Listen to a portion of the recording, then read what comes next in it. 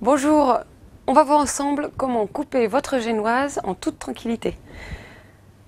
Tout d'abord, on s'arme d'un bon couteau à pain et vous devez poser votre génoise qui doit être froide, bien entendu. L'idéal, ce serait d'attendre 24 heures qu'elle soit un peu plus dure pour pouvoir la découper. Et donc, on la pose sur grille pour pouvoir la manipuler avec facilité. On dispose notre main sur le centre de la génoise et on va venir couper cette génoise en faisant un joli mouvement de scie tout en tournant tout autour et en respectant le milieu du gâteau. Ensuite, on termine la coupe au centre et il ne reste plus qu'à garnir votre génoise. Il existe aussi un instrument magique qui s'appelle la lyre à génoise, qui ressemble à un fil à couper le beurre.